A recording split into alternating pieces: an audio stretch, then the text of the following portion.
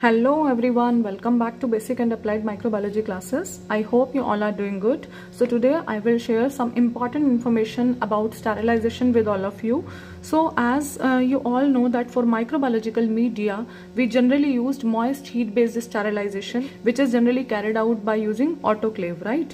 In the same way, if I talk about glasswares like petri plates are there, test tubes are there. So these are mainly sterilized by using dry heat uh, based method by means of hot air oven okay we can also use of autoclave for petri plates also or other glassware okay uh, so now uh, we are very much clear that moist heat and uh, dry heat of course they are going to make the use of higher temperature. Okay like 160 to 180 degree celsius is required for hot air oven. For autoclave we need uh, uh, to use every day uh, a temperature of around 121 degree celsius. Question comes if there is some plastic material or some heat uh, sensitive material what is the mode of sterilization for that? Of course this much of high temperature we cannot use for heat sensitive material.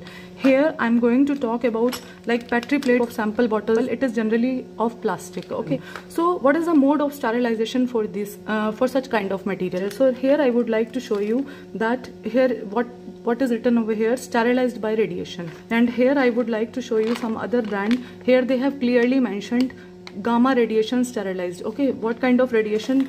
For uh, this type of plastic petri plates are used that is generally gamma radiations.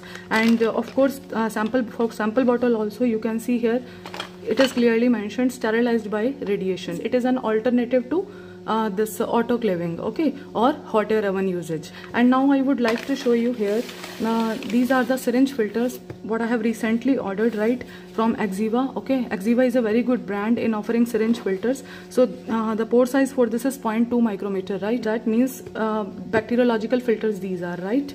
So uh, here you can see Axiva syringe filters what I have uh, procured.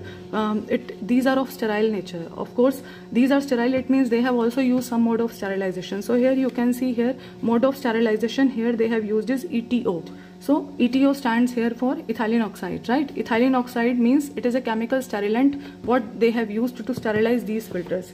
It looks like this okay? So uh, all uh, this uh, what I have tried to show you here are telling you that in what way uh, non-heat based methods are used for sterilization okay? Uh, the usage of radiation based sterilization and of course chemical sterilants usage. I hope this information will uh, enrich your knowledge. Thank you so much. Keep watching